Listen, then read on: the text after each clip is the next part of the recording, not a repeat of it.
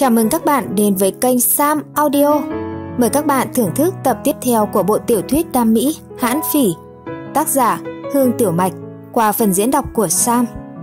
Nếu các bạn yêu thích bộ truyện này cũng như yêu mến giọng đọc Sam thì hãy like và share video cho nhiều người cùng xem nhé. Đối với những bạn chưa đăng ký kênh thì hãy nhanh tay nhấn nút subscribe và nhấn chuông thông báo để không bỏ lỡ những tập truyện mới nhất từ Sam Audio. Chúc các bạn nghe chuyện vui vẻ.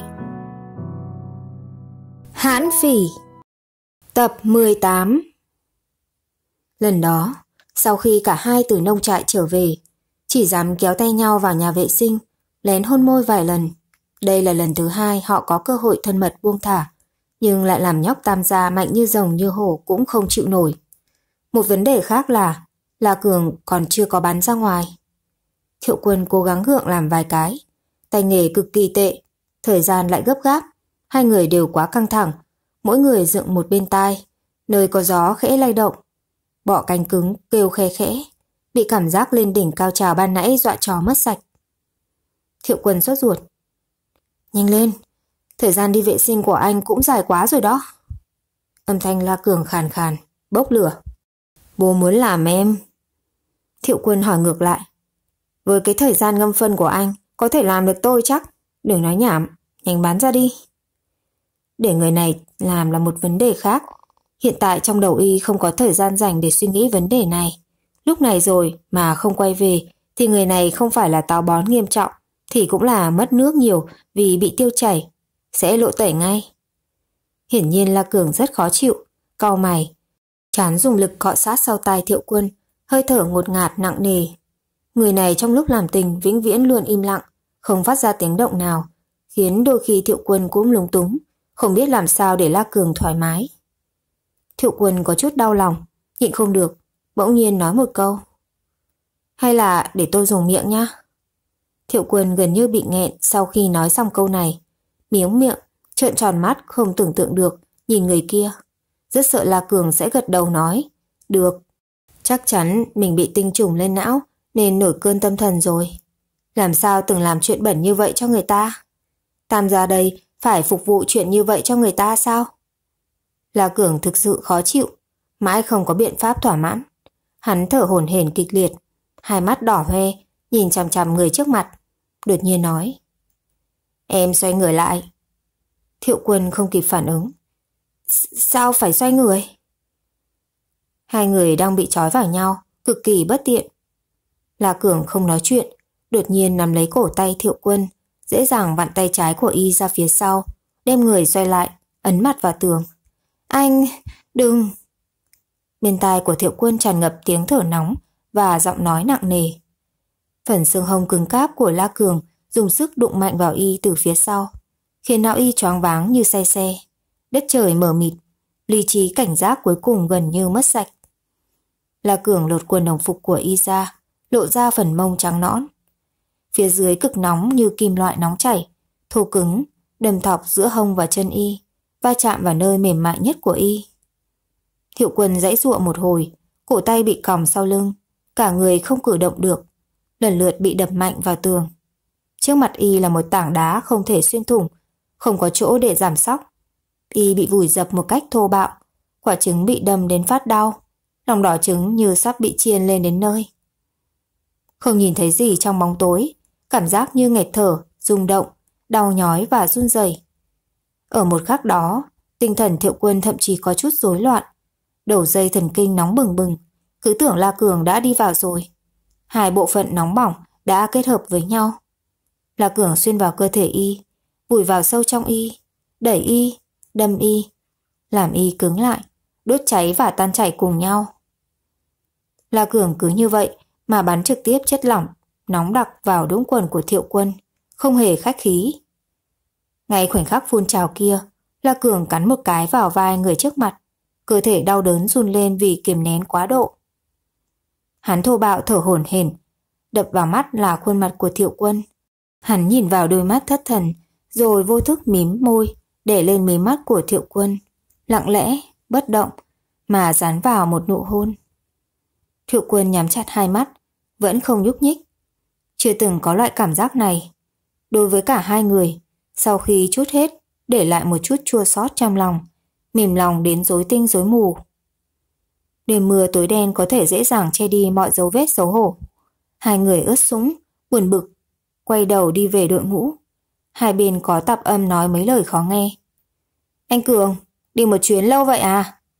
Đi lâu như vậy, mấy đứa trẻ đang mang thai trong bụng có khi đều bị lôi hết ra ngoài rồi ấy chứ nhỉ? La Cường mặt lạnh, trước sau như một, nhèo mắt chửi. Sao? Bố mày ăn nhiều, ỉa nhiều một chút thì liên quan tới bát cơm nhà mày hả?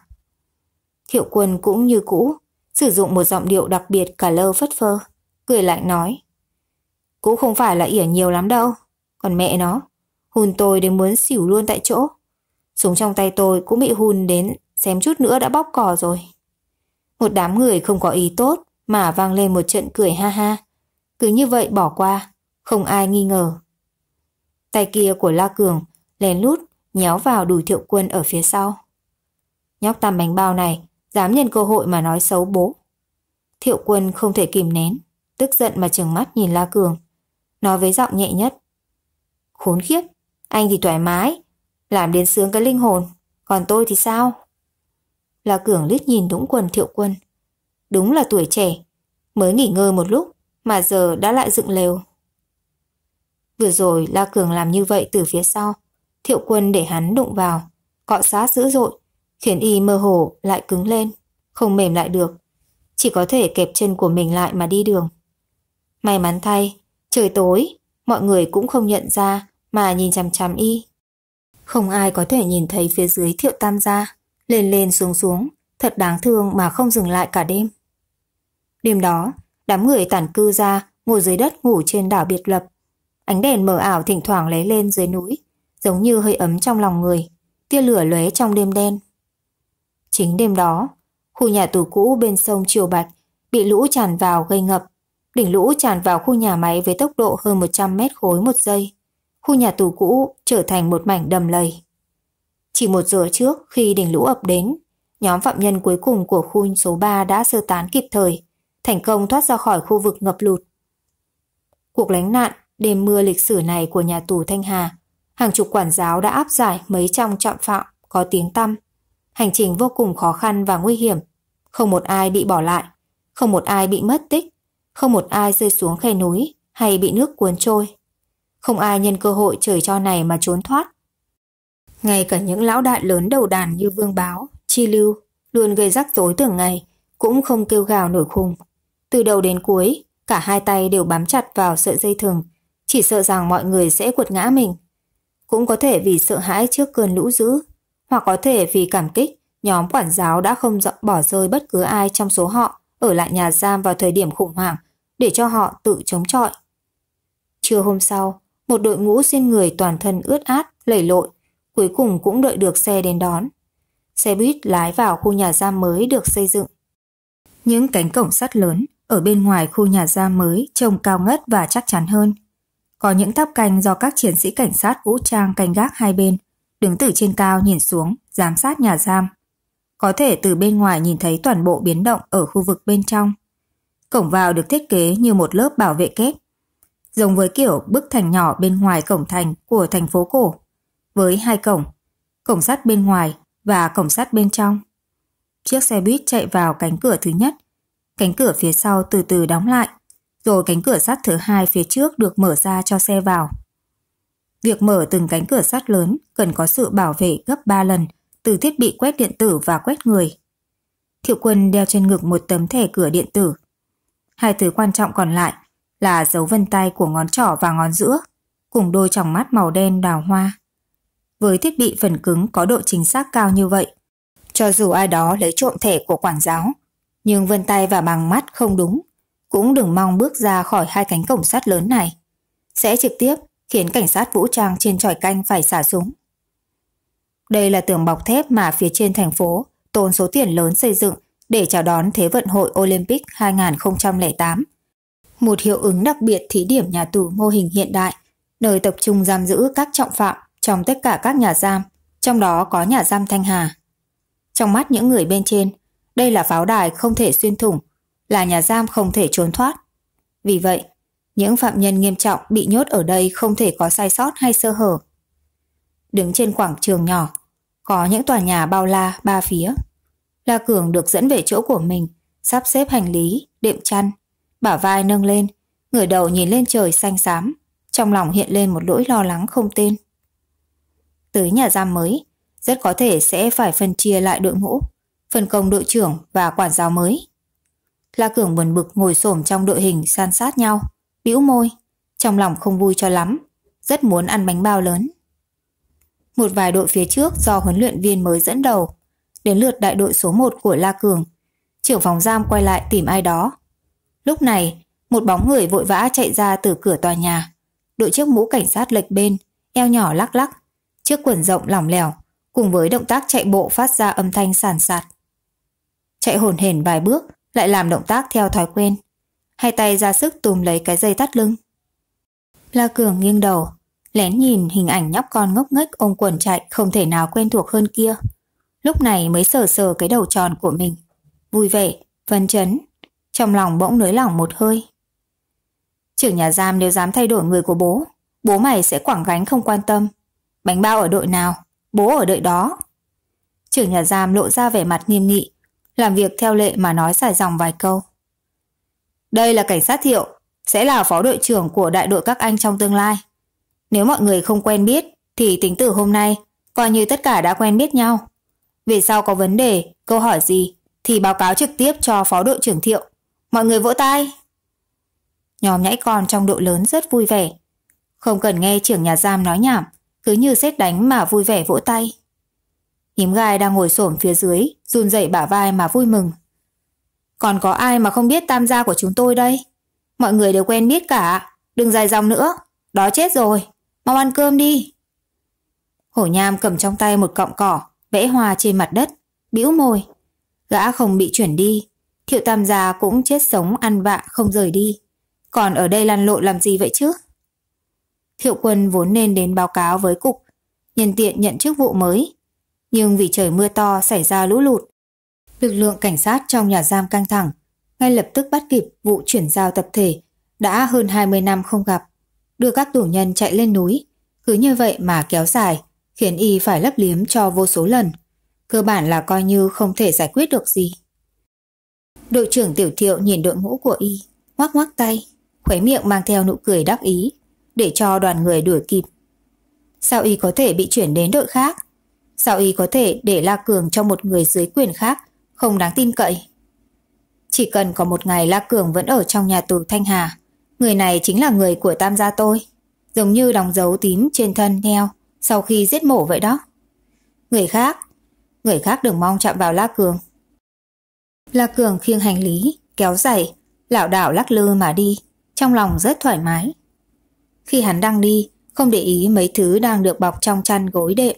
Từ bên trong có gì đó rơi ra, tròn tròn, lăn dài trên mặt đất. Có người có đôi mắt sắc bén. Ô, anh Cường, hũ phấn của ngài rơi xuống rồi kìa. Bây giờ vấn đề này đã trở thành một trò đùa lớn trong phòng giam lớp số 7. Mọi người cứ lần lượt nói về điều này.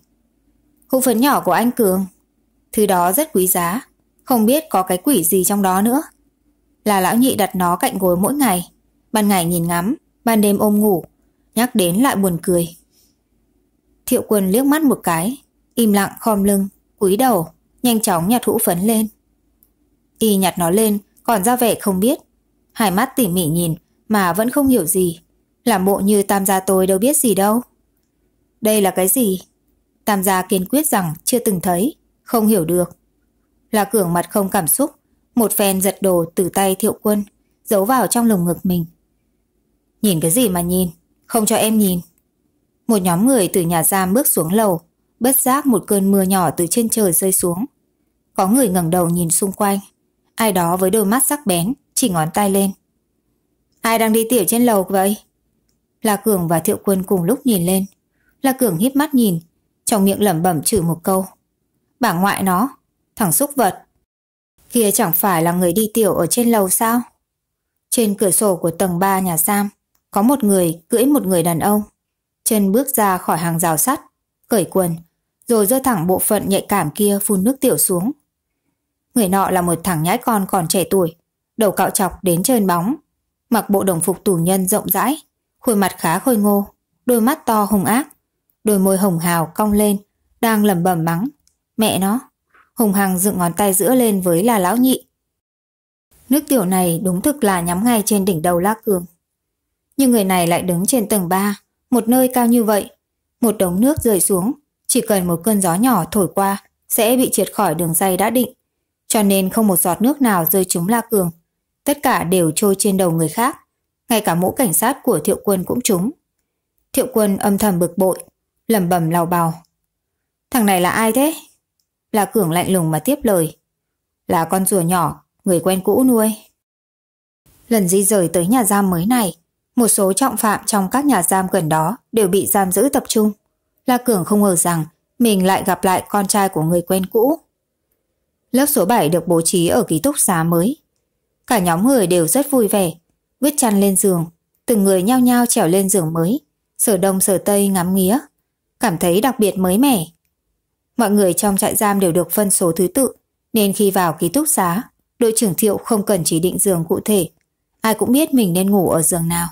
Nếu như anh không biết, thậm chí còn lẫn lộn thứ tự, thì đừng mong được lăn lộn trong cái phòng này nữa. La Cường đi thẳng đến chỗ cửa sổ, cái ghế chỗ hắn đang ngồi thuộc loại lớn. Chống hai tay lên thanh tựa, quay đầu nhìn ra ngoài cửa sổ. Hắn ngoái cổ nhìn xung quanh một lượt, nhưng không thể tìm thấy vị trí của tòa nhà văn phòng, cũng không thể nhìn thấy con đường dợp bóng cây tùng bách ẩn hiện ở tầng dưới. Từ góc độ này nhìn ra sân tập lớn, thế nhưng chẳng nhìn thấy được xà đơn với xà kép mà hắn thích nhất. La Cường căng cổ như một con ngỗng, tập trung tìm kiếm một hồi, lặng lẽ trèo xuống giường, leo lên cái giường lớn thứ hai của lớp bọn họ, lại cố sức quan sát một lượt. La Cường ho khan vài cái hỏi. Ai, Thuận tử, đây là giường của cậu hả? Thuận tử đang thu dọn tủ, nhướng mắt nhìn lên. Ừ, của tôi. Sao thế? La Cường nói. Phòng này không xếp sai vị trí giường chứ? Sao giường lớn lại ở hướng đó, còn giường thứ hai của cậu lại ở hướng này? Thuận tử không để ý. Trước kia không phải cũng như vậy sao? Là Cường nuốt một ngụm nước bọt, không chịu thua. Giường ngủ quả thực không đặt sai vị trí. Cửa sổ lớn quay về hướng nam, giường trên đông tây đều có một giường lớn.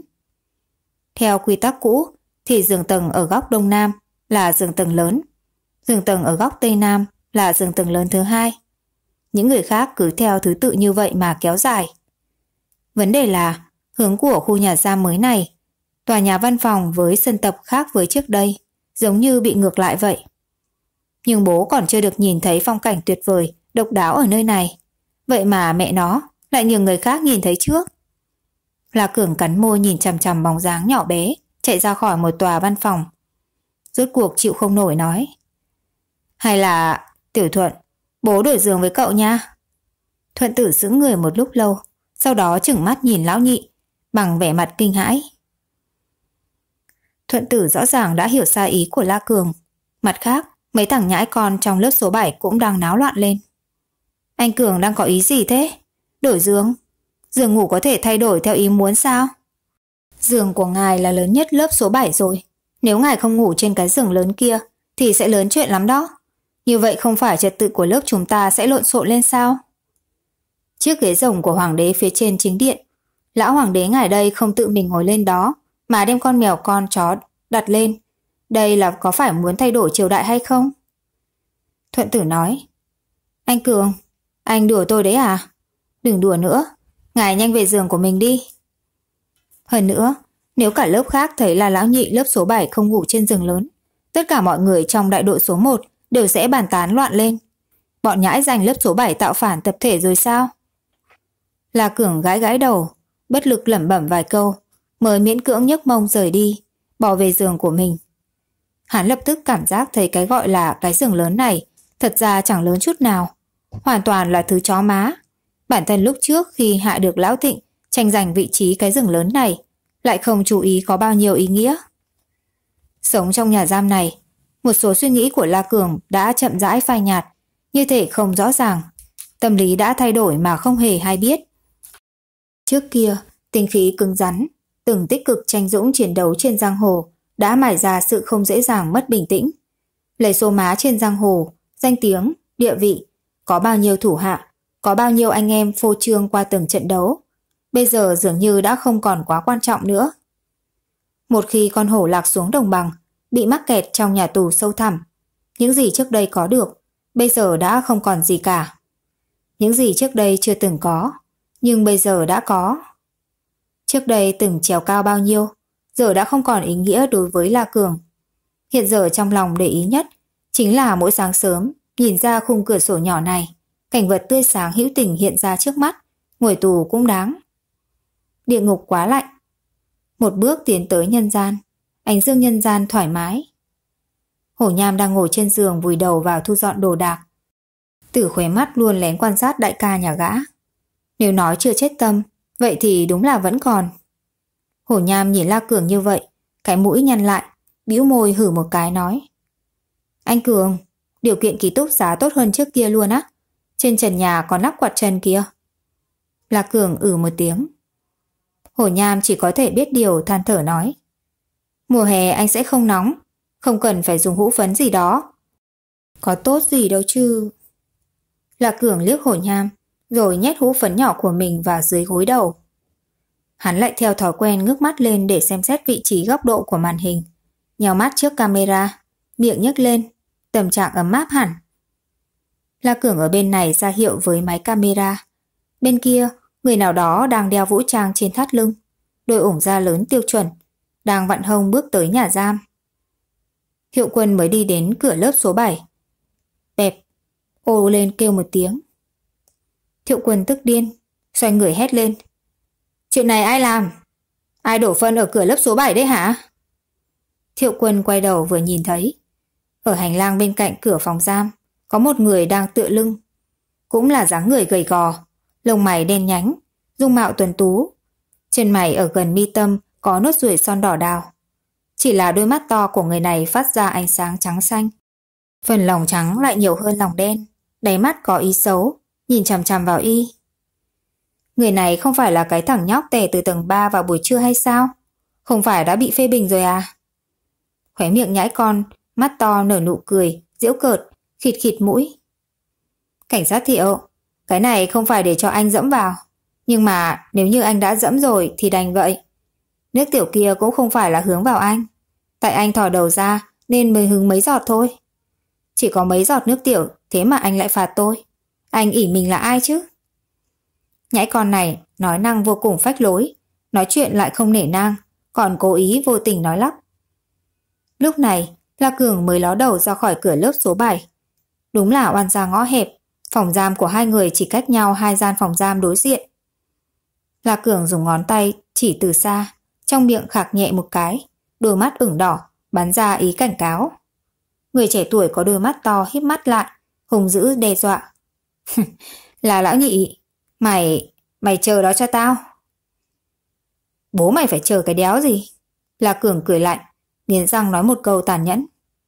Đàm Tiểu Long, bố đang chờ ngày dọn cái tay, chỉnh lý cái chân mày, nhặt xác cho mày đấy.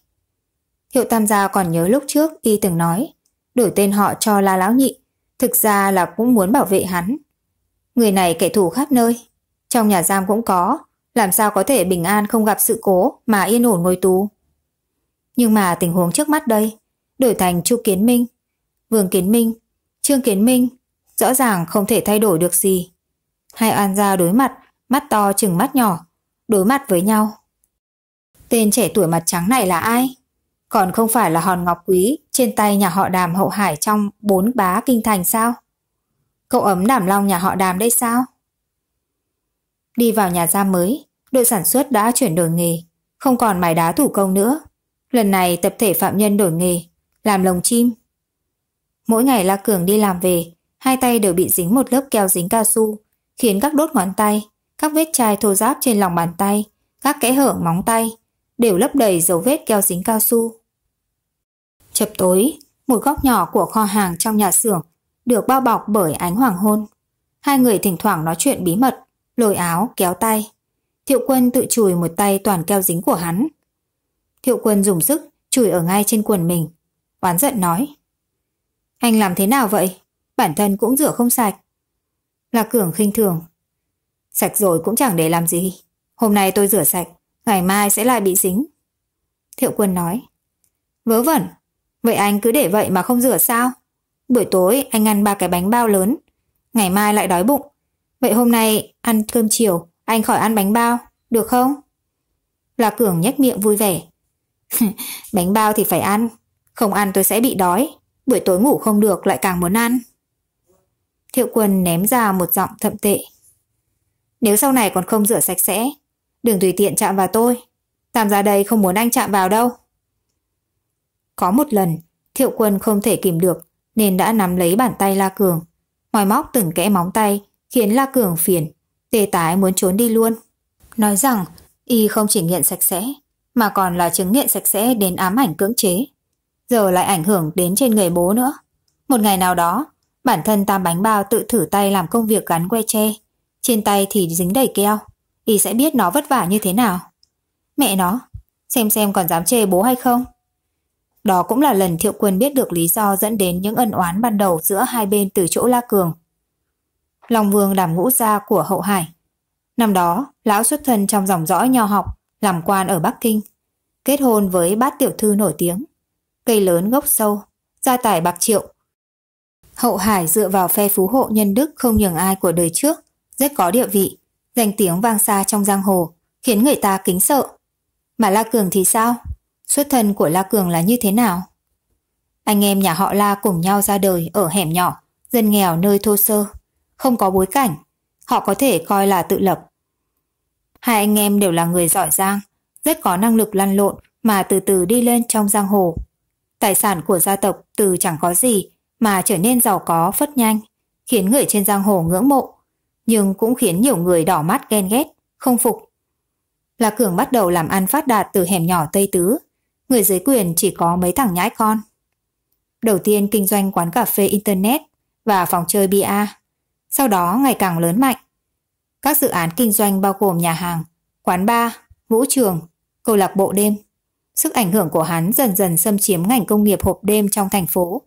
Vị trí đắc địa gồm có Hậu Hải và Tam Lý Chuân. La Cường vừa có năng lực, vừa có bản lĩnh. Dù là đánh nhau hay kinh doanh, hắn luôn có tầm nhìn hiểm ác, ra tay tàn độc, lại ỉ vào thế hệ sau sức trẻ sức mạnh. Cùng sông Trường Giang sóng sau, xô sóng trước. Khi đó đã không thèm đặt đàm ngũ gia vào mắt. Đàm ngũ gia đang ăn nên làm ra thì gặp bất lợi, tức giận nhưng lại không chịu được ống thép hung hãn trong tay La Lão Nhị. La Cường đã từng nuốt nửa con đường toàn cửa hàng mặt tiền của ông ta, bởi vậy nên kết thủ hận từ đây. Hai năm trước, hệ thống bị hacker công an tấn công, nhà họ đàm cũng bị ảnh hưởng nặng nề. Đứa con trai quý giá cũng vì vậy đã phải vào tù, cùng La Lão Nhị chân trước chân sau bị xét xử. Mỗi người bị kết án 15 năm. Cả hai đều tới cùng một nơi. Thiệu Tam gia quản lý đại đội số 1, kể từ khi hai vị ông nội này được phân vào cùng một nhà giam, cũng coi như thú vị không ít. Mỗi ngày, hai người cúi đầu không thấy thì ngẩng đầu thấy, ai nhìn ai cũng không vừa mắt. Mỗi ngày tập thể dục buổi sáng đều là chạy đường dài, hai người tự dẫn đầu đội của mình, nhìn chằm chằm vào nhau từ xa. Không ai muốn chạy phía sau để bị người kia chèn ép. Vì vậy, họ dẫn đầu đồng đội, lao lên phía trước. Một đám nhãi con phía sau thì kiệt sức thở dốc, kêu gào. Hàng ngày đều đi làm. Một trong hai người, người này ngồi ở đầu phía đông của nhà máy, còn người kia ngồi ở đầu phía tây nhà máy. Đang chăm chỉ làm việc, giống như một cuộc đua. Nếu hôm nay người này làm bốn lồng chim, thì người kia không thể chỉ làm có ba cái. Nhóm quản giáo tám chuyện nói. Thiếu gia à, nhìn đại đội số 1 của cậu đi. Hai người la lão nhị cùng đàm long kìa. Một người như đông tà, còn người kia như tây độc. Mỗi ngày từ lúc chúng ta bắt đầu làm việc thì chỉ toàn thấy hai người này phát công với đối phương từ xa. Trưởng hoa đào đối chiến với công phu con cóc. Mỗi tối đều ăn cơm cùng một cái nhà ăn. Một người ngồi ở đầu đông, người kia thì ngồi ở đầu tây. Một nhóm thanh niên xếp thành bàn dưới trướng của họ, dùng vẻ mặt u ám nhìn về phía đối thủ. Với tuổi tác, thân phận hiện tại của La Cường đã không còn là chàng trai 20 tuổi đầu nữa, tự nhiên sẽ không còn chủ động khiêu khích Đàm Long, nhưng hắn cũng không phải dân hiền lành gì. Nếu như Đàm Long dám ra tay khiêu khích, hắn phải tiếp chiêu. Chiều hôm đó, ở nhà xưởng bắt đầu làm việc thì xảy ra chuyện. Phó đội trưởng Thiệu đi trực, đang tuần tra các lối nhỏ đồng tà vẫn ngồi ở vị trí cũ trong góc tường phía đông. bên cạnh là một đám nhãi con lớp số 7, đang buồn bực ma sát những thanh tre. Tây Độc vẫn ngồi ở góc tường phía tây, bên cạnh là đám nhãi con lớp 13, thuộc đại đội số 2. Bọn họ đóng đinh vào cọc tre, đánh bóng rồi dán keo dính thành lồng chim. Cậu ấm nhà họ đàm xuất thân giàu có, mặc dù cũng sống trong hẻm, nhưng hẻm của họ hoàn toàn khác với hẻm nhà họ La. Tổ tiên nhà lão đàm ngày xưa có nhà cửa, đất đai, đồ cổ thời hoàng đế, vàng miếng. Gia đình họ có một khoảng sân lát gạch xanh, ngói xanh cùng bốn cái sân lớn hợp lại. Phía sau có hai cánh cửa nhỏ màu đỏ và một bức tường xây làm bình phong ở cổng. Trong sân còn có một cái động tiên. Ở Bắc Kinh bây giờ, với giá hàng trăm triệu cũng không thể mua được một cái sân như vậy. Dù ra giá cao hơn cũng không có người bán. Dưới sự bao bọc của ông cha già, bao năm qua, cậu ấm họ đàm đã có thói quen kiêu căng, ương ngạnh, hồ mưa gọi gió. Chưa từng chịu khổ cực, cũng chưa từng làm nghề thủ công. Ngày ngày ở trong tù, sao cậu ta có thể vui vẻ chịu đựng, tâm trạng thoải mái? Sao có thể chịu nhịn khuất phục? Cậu ta cảm thấy thoải mái khi gặp La Cường chắc. Đàm Long đang cố sức nhịn để không lên cơn, đi tìm La Lão Nhị gây phiền phức. Nhưng cơn ngừa ngáy bùng lên tận xương tủy. Nếu cậu ta mà không đi, thì nhất định đêm này sẽ không ngủ được, mà nằm gặm ngón tay. Đàm Long bắt được kẽ hở mà mọi người đều không để ý. Cầm lấy một cái bát lớn trên bàn, nhét vào trong tay áo, rồi đứng dậy dựa vào tường, đi đến hướng bên này. Bước chân đi đường của cậu ta như mang theo gió, đáy mắt lộ ra vẻ xấu xa. Còn chưa chờ cậu ta đi đến, ghế dưới mông của La Lão Nhị đã dịch sang một chút. Người đã đứng lên. Đàm Long đang cầm thứ trên tay, cậu ta không cầm rũa hay kéo. Những thứ này là vũ khí giết người. Nếu thật sự gây thương tích cho người ta, thì cần phải trừng trị theo pháp luật. Hơn nữa, những dụng cụ sắt này đều đã được buộc chặt vào bàn bằng dây xích để ngăn chặn phạm nhân nhặt lên làm bậy. Thằng nhãi con đàm long khôn khéo gian xảo này, trong tay giấu một chén keo nước lớn. Đó là loại keo họ dùng để dán lồng chim. Hàng ngày, họ đổi lấy một cái bát to trong nhà máy, dùng trong lúc làm việc. Keo siêu dính, siêu nóng. Đàm thiếu gia ra tay, động tác cực nhanh. Tư thế kia cực kỳ giống với người sướng kinh kịch. Ngày mùng 1, với tả áo xanh vẫy nước. Kỹ thuật này 80% học được từ người cha ruột ngũ gia của mình, một người rất thích kinh kịch. Vù một cái, liền ném keo ra khỏi tay áo. Ai ăn phải bát keo này chắc sắp tận số đến nơi rồi. La Cường nhảy nhanh, xoay người, nghiêng đầu tránh đòn tấn công của keo nước. Nhưng hắn không ngờ tam bánh bao nhà hắn lại ở phía sau. Nếu là Cường biết thiệu quân ở đằng sau mình thì hắn nhất định sẽ không né, mà trực tiếp xông lên để chắn. Thiệu quân phát hiện ra động tác bất thường của Đàm Long, nghĩ rằng La Cường không nhận ra điều đó, nên sải bước về phía trước để ngăn cản Đàm Long. Rồi thì thành ra vậy, một chén keo nước ào vào lên đầu Thiệu quân. Ngày đó quả là một ngày không may mắn của Thiệu quân. Thiệu Tam gia, một người yêu thích sự sạch sẽ và mắc chứng ám ảnh cưỡng chế sạch sẽ. Giờ đây từ trên xuống dưới, nguyên con người đều được phủ lên một lớp keo 502 siêu dính. Thiệu quân hét lên a một tiếng, vừa sợ vừa tức, dùng hai tay lau lung tung, giờ thì ngón tay cũng nhanh chóng bị dính lại. Là Cường thấp giọng la lên. Đừng lau như vậy, đừng cử động. Có sao không? Bị bỏng rồi hả? Cũng còn may keo không nóng lắm, nhưng dính vào da sẽ khiến cho người ta sợ hãi đến phát khiếp.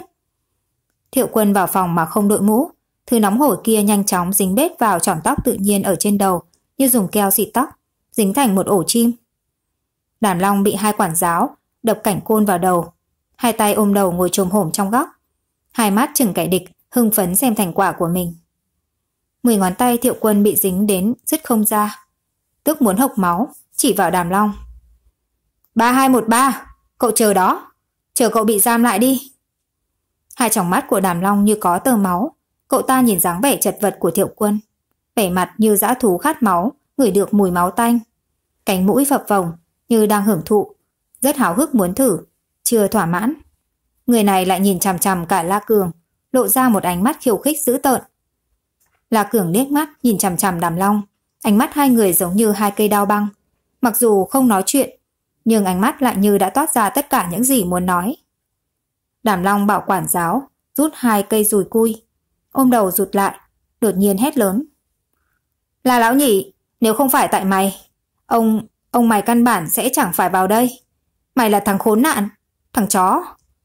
Được chó để nuôi. Là mày cố ý hại tao ngồi tù. Mày cứ cẩn thận ông nội tao đó. Xem xem, mày bất tử được bao lâu. Hết tập 18 Các bạn vừa được thưởng thức tập tiếp theo của bộ tiểu thuyết Nam Mỹ Hành động Hãn Phỉ Tác giả Hương Tiểu Mạch qua phần trình bày của Sam. Nếu bạn yêu thích bộ truyện này thì đừng quên nhấn like và share video cho nhiều người cùng xem nhé. Nhanh tay đăng ký kênh và nhấn chuông thông báo để không bỏ lỡ những tập truyện đam mỹ hấp dẫn mới nhất trên kênh Sam Audio. Xin chào và hẹn gặp lại các bạn ở những tập tiếp theo.